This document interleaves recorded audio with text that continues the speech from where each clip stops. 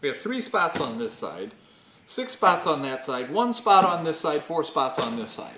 Now, a magician isn't supposed to give away how he would actually do a trick, but see, really it's all in how you hold your hand. See, on this side it looks as if there's six, this way it looks as if you're uh, four. Very good. And on this side it looks as if there's three, and on this side it looks as if there's three. Now, how did this work again?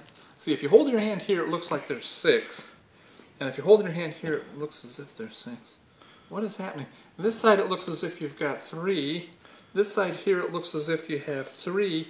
I don't know. I, I guess I'm seeing spots before my eyes. One take wonder.